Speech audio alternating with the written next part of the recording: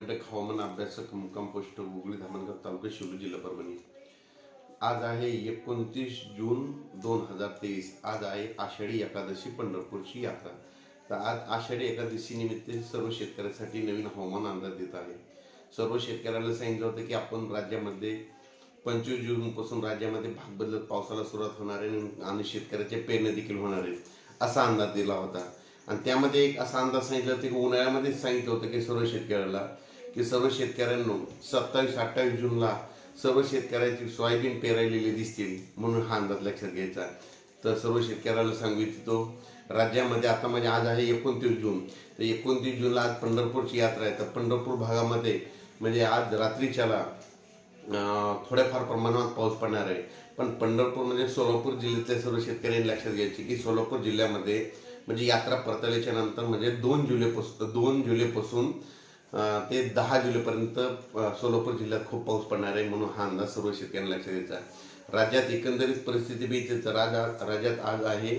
एकोणतीस जून एकोणतीस जून मध्ये तुम्हाला एक सांगू इच्छितो की मुंबई तसेच नाशिक उत्तर महाराष्ट्र कोकणपट्टी तसेच पुणे या भागामध्ये सगळीकडं आज थोडा जोराचा पाऊस पडणार आहे म्हणून हा सर्व शेतकरी हा अंदाज लक्षात द्यायचा पण त्याच्यानंतर उर्वरित राज्यामध्ये पूर्व विदर्भ पश्चिम विदर्भ आणि मराठवाड्यामध्ये राज्यामध्ये भाग बदलत पाऊस पडणार आहे. म्हणजे तो पाऊस म्हणजे एक तारखेपर्यंत म्हणजे आज एकोणतीस तीस आणि एक तारखेपर्यंत विदर्भ विदर्भ पूर्व विदर्भ मराठवाड्यामध्ये भाग बदलत पडणार आहे. पण कोकणपट्टी आणि मुंबई उत्तर महाराष्ट्रामध्ये तर तिकडं जोरदार पाऊस पडणार आहे. म्हणून हा अंदाज लक्षात घ्यायचा आहे.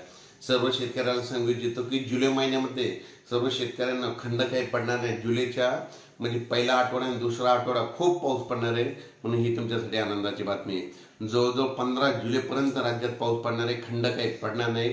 सर्व शेतकऱ्याच्या पेरण्या पंधरा जुलैपर्यंत होऊन जातील म्हणून सर्व शेतकऱ्यांनी हा अंदाज लक्षात घ्यायचा आणि इतर राज्यात परिस्थिती बघितली तर राज्यामध्ये दोन जुलैपासून ते जवळपास म्हणजे, मध्ये आठ जुलैपर्यंत दोन जुलै ते आठ जुलैमध्ये पूर्व विदर्भ पश्चिम विदर्भ आणि मराठवाड्यामध्ये खूप पाऊस पडणार आहे. सर्व शेतकऱ्याची म्हणजे त्या पावसावर पेरणी देखील होणार आहे. आणि त्याच्यामधून जर काही शेतकरी उरले तर त्यांची पेरणी सर्व शेतकऱ्याची पेरणी जवळपास पंधरा जुलैच्या आत होऊन जाणार आहे म्हणून हे लक्षात द्यायचं काय झालं होतं? चक्रीवादळानं मान्सूनला काय झालं? थोडा अवतार निर्माण केला होता.